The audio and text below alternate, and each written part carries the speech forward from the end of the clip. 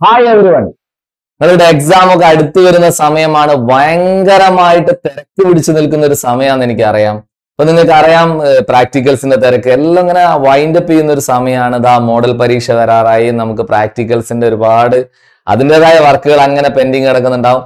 ഏതായിരുന്നാലും ഈ സമയത്ത് എനിക്ക് നിങ്ങളോട് പറയാനുള്ളത് ഇപ്പൊ ഞാൻ പറയുന്നത് ബയോളജിയിലെ ഏറ്റവും പ്രധാനപ്പെട്ട ഒരു ടോപ്പിക് നൂറ് ശതമാനം പരീക്ഷയ്ക്ക് ചോദിക്കാറുണ്ട്. ഒരു ക്വസ്റ്റ്യൻ പേപ്പറിലും ഇത് കാണാതെ പോവാറില്ല.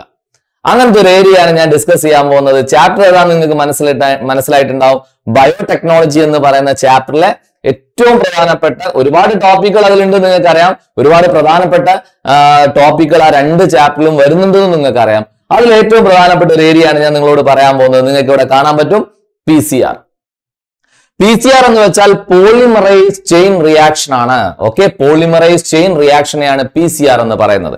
നമുക്കറിയാം ഈ പി സി ആർ എന്ന് പറയുന്നത് നമ്മൾ പ്രധാനമായിട്ടും യൂസ് ചെയ്യുന്നത് എന്തിനു വേണ്ടിയിട്ടാണ് നിങ്ങൾക്ക് അറിയാം making multiple copies of desirable gene ആണ്. അല്ലെ? എല്ലാവർക്കും അറിയാം. Making multiple copies of desirable gene നമ്മളുടെ എടുക്കുന്ന ഡിസൈറബിൾ ജീന്റെ ഒരുപാട് കോപ്പീസ് അതിന്റെ നമ്പർ ഓഫ് കോപ്പീസ് ഒരുപാട് കൂട്ടാൻ വേണ്ടിയിട്ടാണ് നമ്മൾ എന്ത് യൂസ് ചെയ്യുന്നത്? പി സി ആർ യൂസ് ചെയ്യുന്നത്. ഏകദേശം ഇതിൽ നിന്നും വൺ ബില്യൺ കോപ്പീസിനെ പ്രൊഡ്യൂസ് ചെയ്യാൻ പറ്റും എല്ലാവർക്കും അറിയാം.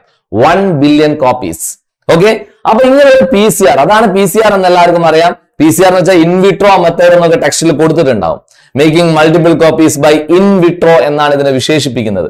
അപ്പൊ ഏതായിരുന്നാൽ ഈ ഒരു പി സി ആർ ചെയ്യാൻ ആവശ്യമായ റിക്വയർമെന്റ്സുകൾ എന്തൊക്കെയാണെന്നാണ് ഞാൻ ആദ്യം പറയാൻ പോകുന്നത്. Basic requirements of P C R പ്രധാനമായിട്ടും എല്ലാവർക്കും അറിയാം നിങ്ങളുടെ ഒരു റിവിഷനായിട്ട് നിങ്ങൾ ഇതിനെ കാണണം. ആദ്യമായിട്ട് എനിക്ക് നിങ്ങളോട് പറയാനുള്ളത് ഡി എൻ എ ടെംപ്ലേറ്റിനെയാണ് ഡി എൻ എ ടെംപ്ലേറ്റ് എന്ന് വെച്ചാൽ നമുക്കറിയാം ആ ഒരു പ്രോസസ് ചെയ്യുന്നതിന് നമ്മൾ യൂസ് ചെയ്ത ഒരു ഡി എൻ എ ഫ്രാഗ്മെന്റ്സ് ഉണ്ടായിരുന്നു. ആ ഫ്രാഗ്മെന്റ്സിനെ നമുക്ക് ഡി എൻ എ ടെംപ്ലേറ്റ് എന്ന് പറയാം. രണ്ടാമതായിട്ട് നമ്മൾ അവിടെ യൂസ് ചെയ്യുന്നത് ആരെയാന്ന് നിങ്ങൾക്ക് അറിയാം പ്രൈമറുകളാണ്. പ്രൈമേഴ്സ്. ചെറിയ ഒളിഗോ ന്യൂക്ലിയോടൈഡ്സുകളെയാണ് നമ്മൾ പ്രൈമേഴ്സ് എന്ന് പറയുന്നത്. അങ്ങനത്തെ രണ്ട് പ്രൈമറുകളാണ് ഈ ഒരു പ്രോസസ്സിന് ആവശ്യമുള്ളത് എന്ന് നിങ്ങൾക്ക് ഓർമ്മയുണ്ടാവുമെന്ന് ഞാൻ വിചാരിക്കുന്നു. മൂന്നാമത്തത് ഒരു എൻസൈമാണ് ആ എൻസൈമിന്റെ പേരാണ് ടാക്ക് പോളിമറൈസ് എന്ന് പറയുന്ന എൻസൈമാണ് ഡി എൻ എ പോളിമറൈസ് എന്ന് പറയുന്ന കാറ്റഗറിയിൽ വരുന്ന ടാക്ക് പോളിമറൈസ്.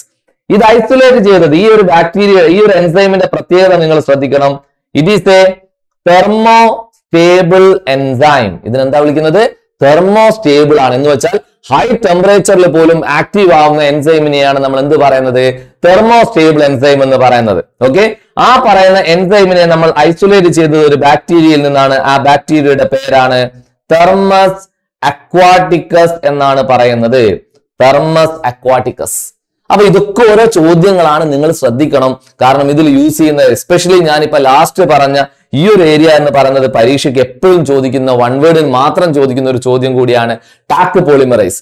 അപ്പൊ ടാക്ക് പോളിമറൈസ് എന്ന് പറയുന്നത് ഒരു എൻസൈമാണ് ആ എൻസൈമിന്റെ പ്രത്യേകത തെർമോസ്റ്റേബിൾ ആണ്. ടെമ്പറേച്ചറിൽ ഹൈ ടെമ്പറേച്ചറിൽ ആക്റ്റീവ് ആണ്.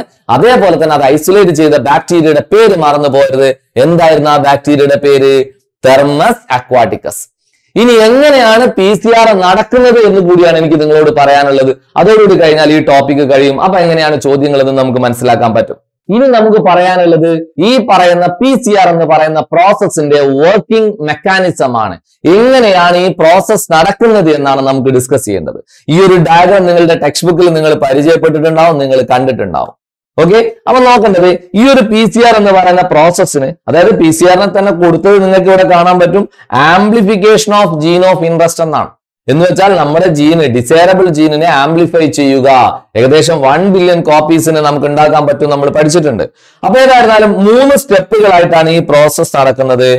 One denaturation denaturation രണ്ട് അനീലിംഗ് എന്നാണ് പറയുന്നത്.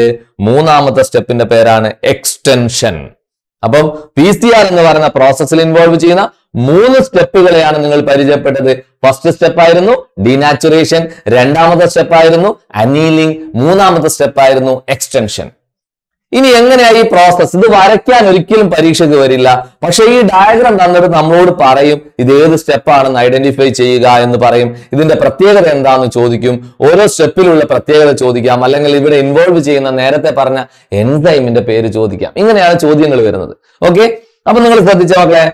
എങ്ങനെയാണെന്നൊന്ന് പറഞ്ഞ് വർക്കിംഗ് മെക്കാനിസം എന്ന് പറഞ്ഞ് ഇവിടെ നിങ്ങൾ കാണാൻ പറ്റും. ഒരു ഡബിൾ സ്റ്റാൻഡേർഡ് ഡി എൻ എനെ കാണാം. കാണുന്നില്ല എല്ലാവരും double standard D N A ഈ double standard D N N എന്ത് ചെയ്യുന്നു? ഹീറ്റ് ചെയ്യുന്നു. ഏകദേശം നയന്റി ഫോർ ഡിഗ്രി സെൽഷ്യസിൽ നമ്മൾ അതിനെ ഹീറ്റ് ചെയ്യുന്നു. അങ്ങനെ ഹീറ്റ് ചെയ്യുന്ന സമയത്ത് ആ ഡബിൾ സ്റ്റാൻഡേർഡ് ഡി എൻ അങ്ങനെ ഡബിൾ ആയിട്ട് നിൽക്കാനുള്ള കാരണം നിങ്ങൾക്കറിയാം. ഇതൊരു സ്ട്രാൻഡ് ആണ്. ഇത് അടുത്തൊരു സ്ട്രാൻഡ് ആണ്. അപ്പൊ ഇതിക്കിടയിൽ നൈട്രജൻ ബേസുകൾ ഉണ്ട് നിങ്ങൾക്കറിയാം. എന്ന് വെച്ചാൽ ഇവിടെ ഇപ്പം അഡിനിൻ ആണെങ്കിൽ ഇപ്പുറത്ത് ആരുണ്ട്? തൈമിനുണ്ട് ഇവിടെ ഗ്വാനിൻ ആണെങ്കിൽ ഇപ്പുറത്ത് ആരുണ്ട്? സൈറ്റോസിനുണ്ട് ഇവർക്കിടയിൽ അഡിനിനും തൈമിനും ഇടയിൽ ഡബിൾ ബോണ്ട് ഉണ്ട് ഇവർക്കിടയിൽ ട്രിപ്പിൾ ബോണ്ട് ഉണ്ട് ഹൈഡ്രജൻ ബോണ്ടുകളാണ് അപ്പം ഈ ബോണ്ടുകൾ എന്ത് ചെയ്യും? ഇവ ഈ ബോണ്ടുകളാണ് ഇതിനെ ഡബിൾ സ്റ്റാൻഡേർഡ് ആയിട്ട് ഇങ്ങനെ നിർത്തുന്നത്. അപ്പൊ എന്താ സംഭവിക്കുക?